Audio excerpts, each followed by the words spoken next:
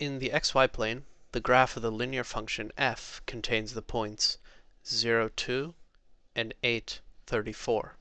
Which equation defines f, where y equals f of x?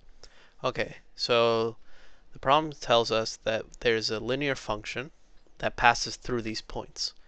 And we need to find the equation of that function. So a linear function has the form y equals mx plus b, where m is the slope, the rise over the run, and b is the y-intercept, the y-coordinate of the point of intersection between the line and the y-axis. So to find the slope, we need to find the rise over the run, which is the change in y over change in x. So these points, they give us x, y coordinates for both of these. And we can find the slope by dividing the change in y over the change in x. So the change in y divided by the change in x is going to be equal to, so y goes from 2 to 34. So 34 minus 2 will give us the change in y. And x goes from 2, uh, 0 to 8. So the change in x will be 8 minus 0. So then this simplifies to 32 over 8, which is equal to 4. So the slope is equal to 4.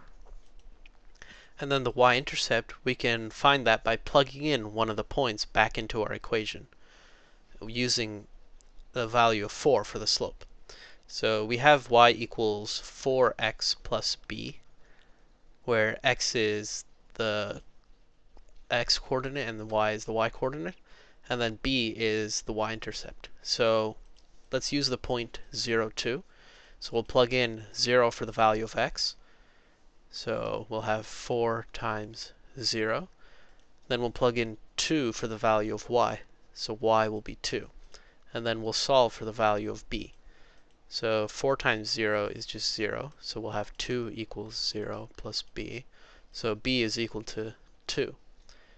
So now we have everything we need to make a linear function. So we'll have y equals m, which is 4, times x plus b, which is 2. So this is the equation for this line that passes through these two points, which is answer choice C.